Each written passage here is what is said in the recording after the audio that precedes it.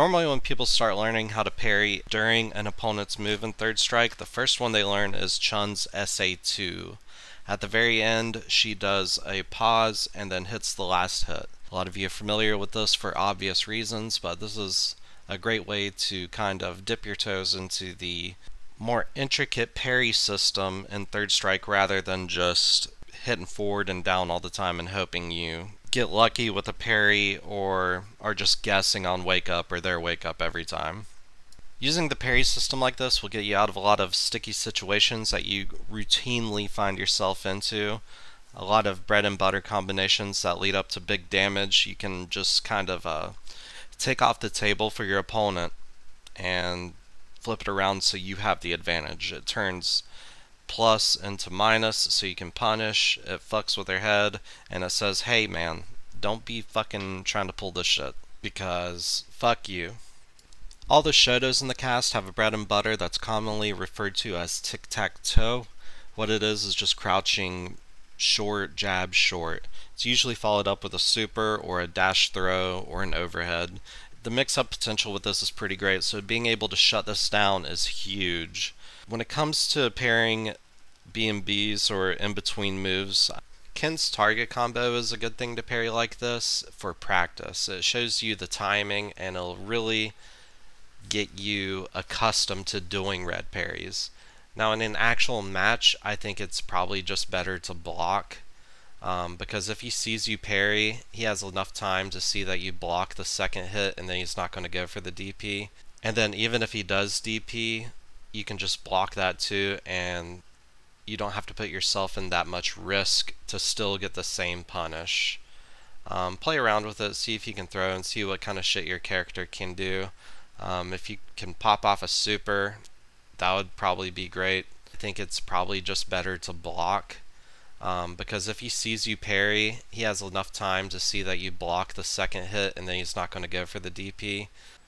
When it comes to Ken's axe kick, I honestly think it's just easier to react to it and hit a button or just fucking parry both of them.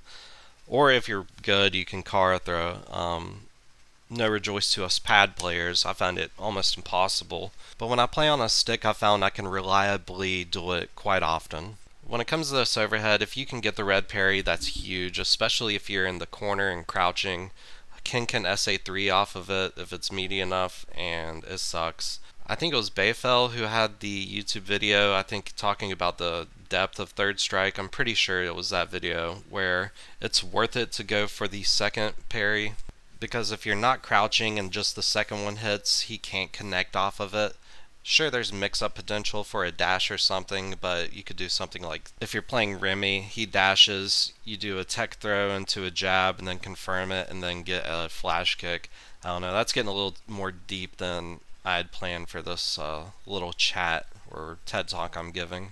Anyway, that Baefel video, if you've ever watched the Third Strike video on YouTube, you'll see it in your recommendation feed, I'm sure. I see it all the time, and I've watched it a couple times. One of my favorite red parries to do is against Alex, his EX charge headbutt thing, whatever the fuck you would call it.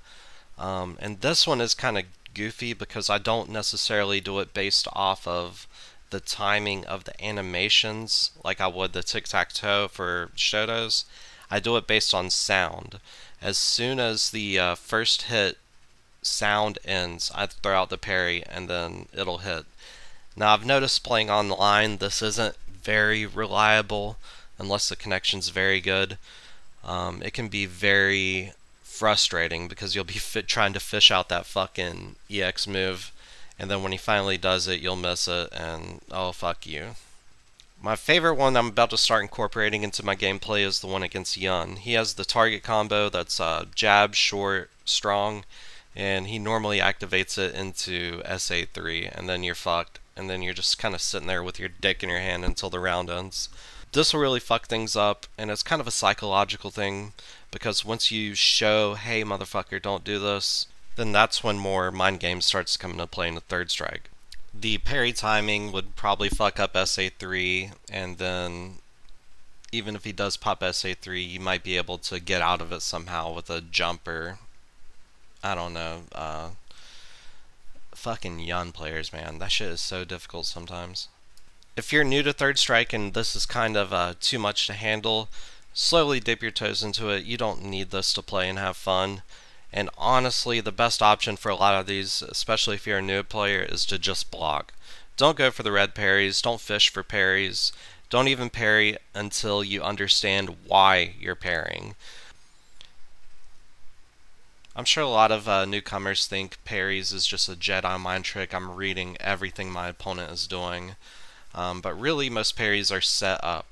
For example, one of my uh, go-tos is Remy's command overhead into down into fucking SA2. Or Ken has one that's uh, his standing medium kick into down into SA3.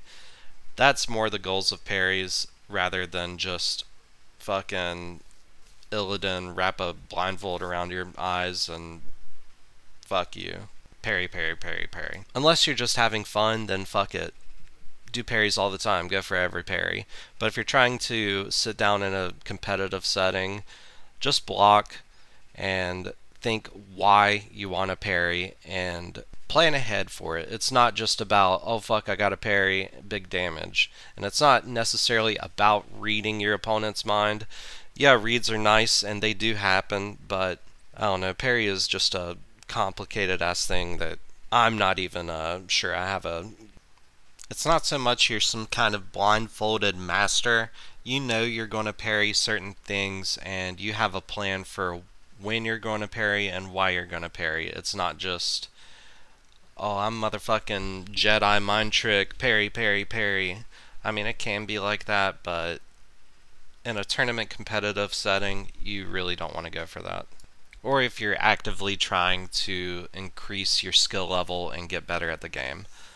A lot of people always ask me, hey, how do I get better at parries? Or, hey, I need to get good at parrying. And you really don't. It's more of a, you need to get better at your mindset about the mechanic of parries. You got to get uh, more familiar with the idea of parrying rather than doing it itself. It's more about showing your opponent, hey, I can do this, and that limits your options, so watch out. And then you build layers off each other. But like I said, it's all about having fun. Um, have fun playing Third Strike. It's the best fucking fighting game. I love the shit. Um, and play Remy.